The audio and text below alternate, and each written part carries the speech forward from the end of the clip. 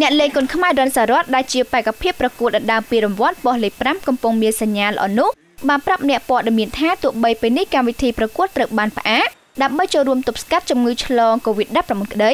តែខ្លួនមិនបានសម្រាប់នោះទេគឺនៅតែបន្តការវឹកហាត់ជាប្រចាំថ្ងៃដើម្បីបំពេញបច្ចេកទេសនិងពង្រឹងសមត្ថភាពកុំឲ្យធ្លាក់ចុះអ្នកប្រយុទ្ធទម្ងន់មធ្យមលោកនេះអះអាងថា បានជាខ្លួននៅតែព្យាយាមវឹកហាត់បែបនេះពីព្រោះមុនផ្អាកកម្មវិធីប្រកួតគេបានយកឈ្នះដៃគូហើយត្រូវបានឡើងទៅវគ្គពាក់កណ្ដាលប្រាច់ព្រាត់ហើយមជ្ឈតារបស់គេគឺចង់ឈានទៅក្រងជើងឯកតែម្ដងដូច្នេះលោកមិនត្រូវធ្វើប្រហែសផ្លេចការវឹកហាត់នោះទេពលគឺបើទោះបីជាមិនទាន់បានដំណឹងពីការប្រកួតនៅវគ្គពាក់កណ្ដាលប្រាច់ព្រាត់នៅពេលណាក៏ដោយប៉ុន្តែសប្តាហ៍ថ្ងៃនេះបន្តការវឹកហាត់ជាធម្មតាដូចជារត់និងវាយបាវសាច់ជាដើម រិនសារ៉ុតបញ្ជាក់ថាការផ្អាកកម្មវិធីប្រកួតដោយសារតែជំងឺ Covid-19 នេះខាងគណៈកម្មការបច្ចេកទេសមិនទាន់ផ្ដល់ដំណឹងពីពេលវេលាចាប់ផ្ដើមឡើងវិញនៅឡើយទេ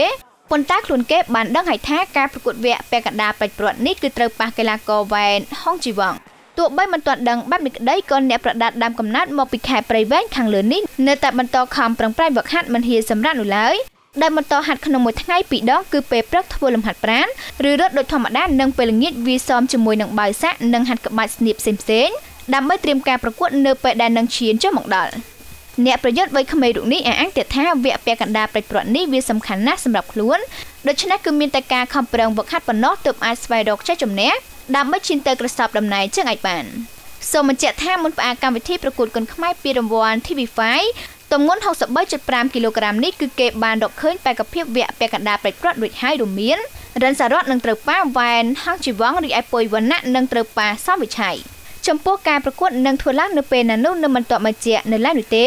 ពលគឺវានឹងចាប់ផ្ដើមប្រកួតឡើងវិញនៅពេលដែលបញ្ហាជំងឺឆ្លង COVID-19 បានធូរស្រាលឡើងវិញនោះ Yeah. Yeah.